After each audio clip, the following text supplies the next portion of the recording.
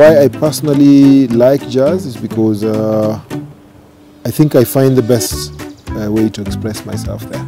It can capture feelings if you're happy, if you're sad, if you're thoughtful. What I love about jazz is its freedom. It's, it speaks to me on, on more levels than just sort of the, the act of singing. It's talking to me in my mind. Um, so why jazz? Why not? Jazz is, is one of the older universal African cultures. But I think the time has come for us to actually have indigenous productions.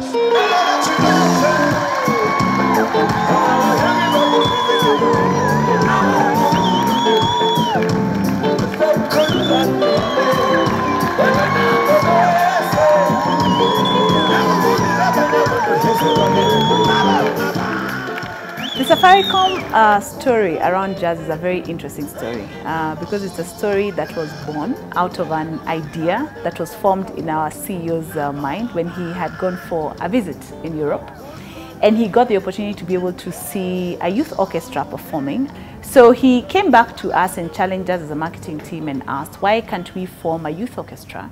But not just a youth orchestra for the sake of um, showcasing the talent that is there, but a youth orchestra that does good uh, which is really very much in line with our vision as a company, the whole vision of transforming lives.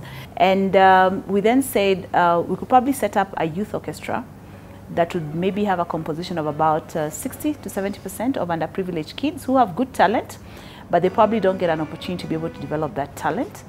Um, and then uh, the other 30% made up of uh, your average uh, everyday kids. So out of that, the Safaricom Youth Orchestra was born.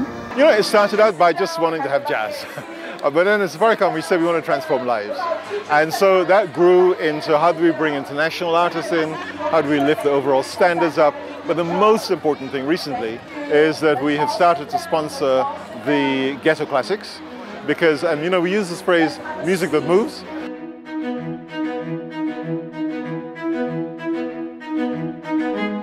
When I got the phone call telling us that uh, we would be the official charity for the Jazz Festival, Yes, it was an extremely exciting uh, piece of news to receive.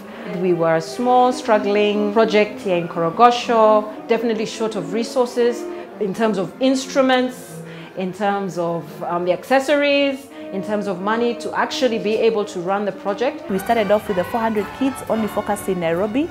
Now we are um, directly impacting about 1,200 kids who have gone through the program. We have expanded from Nairobi, gone to Mombasa. Next year, we are further expanding this to go to Kisumu. So now we are beginning to not only just have uh, local impact here, we are now beginning to spread that impact across the rest of the country.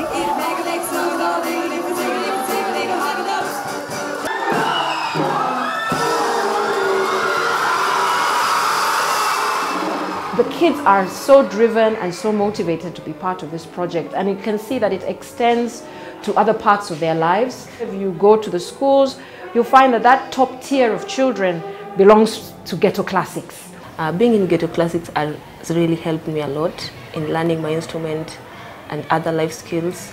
Apart from studying, I found something that I can do, which is fun.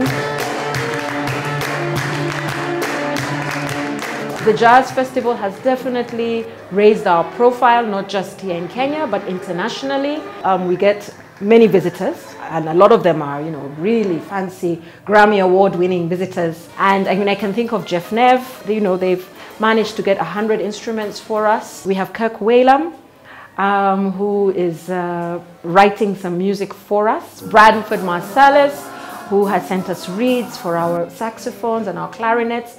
Maya, she plays the cello, and so she's a great friend of our cello players here. And every so often, they just have a chat on Skype you know, those are life-changing um, situations because otherwise these kids would not have had much of a future. But music is giving them dignity and it's giving them hope. I think Safaricom has a long history of being involved in music.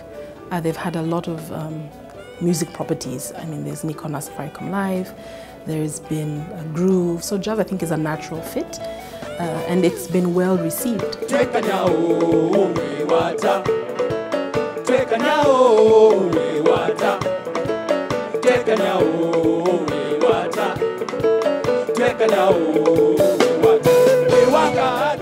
One of the objectives of the Jazz Festival is to sort of bring local jazz music to the fore.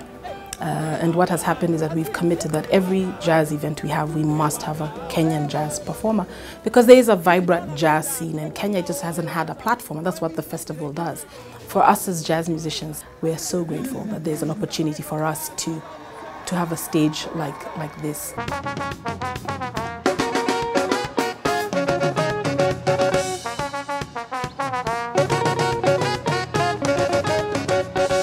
My Safaricom Jazz experience was amazing.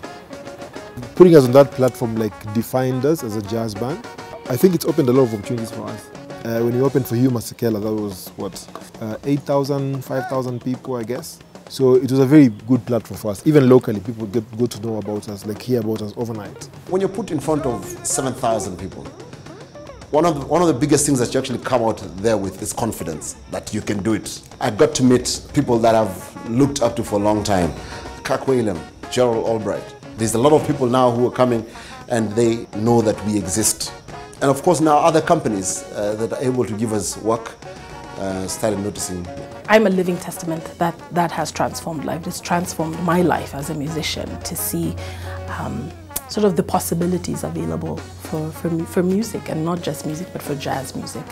And it, I think it's helping us as Kenyan jazz musicians to find our Kenyan voice because one of the things that the festival is yearning to do is to put our music on an international stage. Sometimes go to a trade fair and they say, oh, you have jazz musicians in Kenya. And I'm like, yes, and very, very good jazz musicians.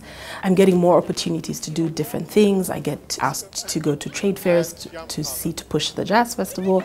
I get to MC different gigs just because of the opportunity that I've gotten to be on, on, the, on the jazz stage. So firstly, a big thank you to our partners who really from day one believed in the vision of what we were doing, which was bringing the jazz culture to Kenya, but more than that, making a difference to the lives of the children of ghetto classics. So we've had like the Italian Institute, we've had the Embassy of Belgium, the Embassy of Israel, the British Council, KLM, um, the Intercont, Color Print, Mo Sound, Apollo Tours. And so it's way beyond our dreams. We didn't think that in five years' time we would be a jazz festival uh, that has now become, from an audience perspective, as big as it has. But even from a global perspective, we are starting to see uh, people recognizing it as a jazz festival that they want to perform at. Every jazz lounge we've done now going forward, we've been sold out because people believe in the brand, the brand has grown we're seeing as many as 10,000 people coming out to a jazz event. And people think jazz is cool. It's cool to, to be a jazz musician. It's cool to go to a jazz festival. We've moved to where we are doing four major events a year. We have two lounges, one in August and one in November. We have um, the big festival in February, and now we even have a, a, a, gig on the International Jazz Day. I think jazz transcends the age if you get to listen to it. But I think once people start experiencing, they realize that it's just as fun and interesting to anybody who likes hip hop, R&B. It's all about the beats. It's very cool. It's nice. The music is very cool. It's just moving. The way they say jazz is music that moves you. Actually, this one I'm seeing so many Belgian Belgians performing, and that means we're having a cultural interaction and actually the a real experience of what we see on our televisions. This is such a lovely way to spend a Sunday on a three-day weekend. It's outside, the weather's gorgeous with good friends. It's amazing. Yeah, the music's been brilliant. All the artists, we've had a great time.